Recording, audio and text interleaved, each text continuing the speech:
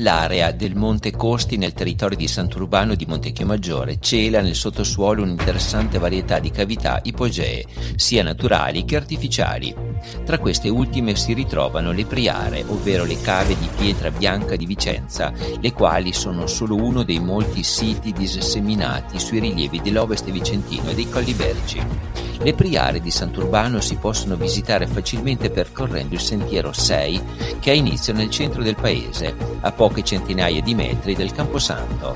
Presentano le caratteristiche colonne calcaree che sorreggono la volta della cava e ampi ambienti ricavati dall'estrazione della pietra. Attualmente, dopo l'abbandono dell'attività estrattiva, sono utilizzate come deposito di attrezzi agricoli. Non molto lontane, ma assai meno note, vi sono le sabbionare del Monte Costi. Esse sono un articolato complesso sotterraneo, anch'esso di natura artificiale sfruttato in tempi passati per l'estrazione del materiale sabbioso. La geologia del Monte Costi infatti presenta uno strato di arenare calcaree e marmose che pioggia su un sottostante strato di rocce calcaree, separati da un sottile strato di tubo. Le sabbionare, a differenza delle priare, presentano basse gallerie dove è necessario avanzare a carponi. Si aprono a ventaglio verso l'interno del monte e costituiscono quindi una cavità labirintica dove occorre prestare attenzione per non perdersi. All'interno del complesso spicca il colore giallo della roccia ed è possibile ammirare ancora oggi il paziente lavoro di scavo di chi con fatica lavorò qui dentro, dove i segni del piccone sono ancora visibili dal soffitto e si apprezza la cura nel creare i muri a secco che delimitano le gallerie you. Sia i tassi che le volpi frequentano con regolarità queste cavità.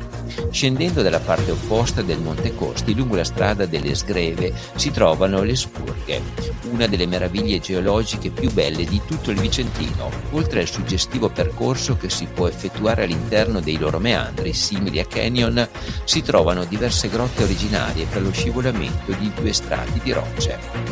Fra le più estese si annoverano la Grotta della Sopravvivenza e il Buso del Mistro.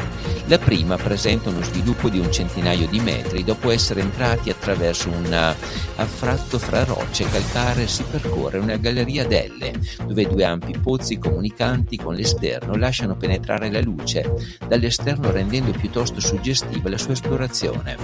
Poco dopo la grotta termina con una piccola sala ingombra di massi di crollo. Il buso del Mistro, noto anche come voragine dei Sabbioni o spulga della Saresara, con i suoi 342 metri di sviluppo rappresenta la grotta più estesa del comune di Montecchio Maggiore.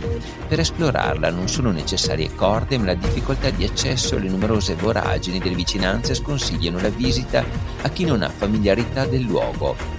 Il grande ingresso principale è situato all'interno di una forra umida e lussureggiante, incute un certo timore e fascino al contempo.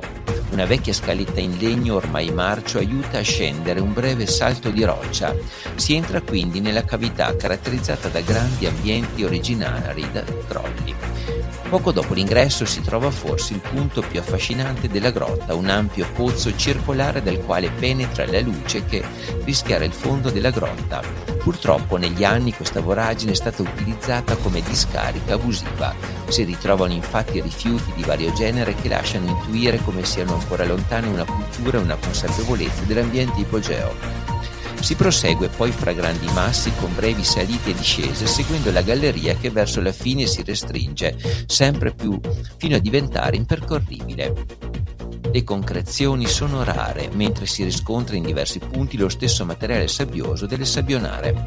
Tornati all'esterno, in breve si ridiscende alla strada delle Sgreve, quindi alla chiesa di Sant'Urbano.